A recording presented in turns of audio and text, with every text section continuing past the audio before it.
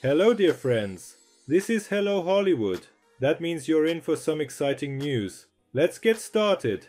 Prince Harry will be arriving in the UK any day now to return to the island he left to start the Invictus Games, but he will be without his wife as she fears she will be harassed in Britain.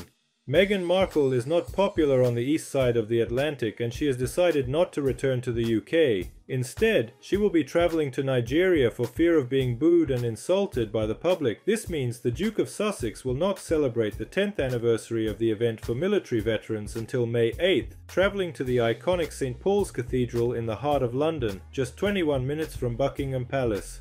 Had she travelled to the UK it would have been very difficult. It would bring back horrible memories of her past and awkward moments visiting various churches etc.